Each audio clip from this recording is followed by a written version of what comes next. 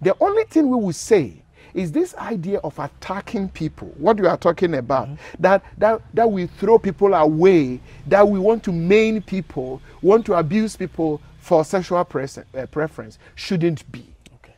You know, I'll sack you, I won't work with you, I'll deny you employment, that kind of thing shouldn't.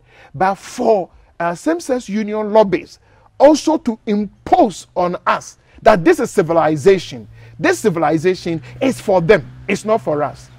You know what we need. What we want for our young people is employment. If somebody want to help us, they must allow our young people to find job. They must allow our young people access into their market.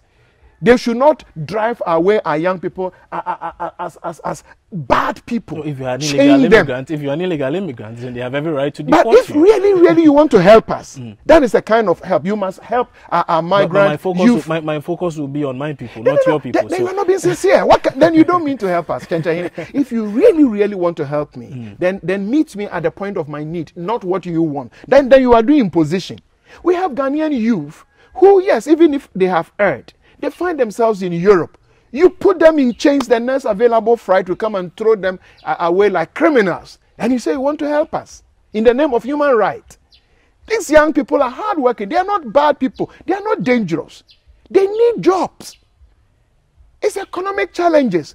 You put them in the next available flight, you chain them, come and throw them away, and you really want to help us. I come to you, you build your economy on the backs of Ghanaian slaves.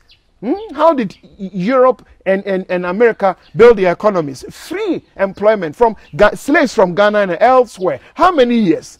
Today you have been built, your, your, your, me, my grandfathers have built your country. We want to stay there to do anything for us to survive. You throw us away and you come and tell us that because you are doing that, uh, we must be civilized and follow you. Why?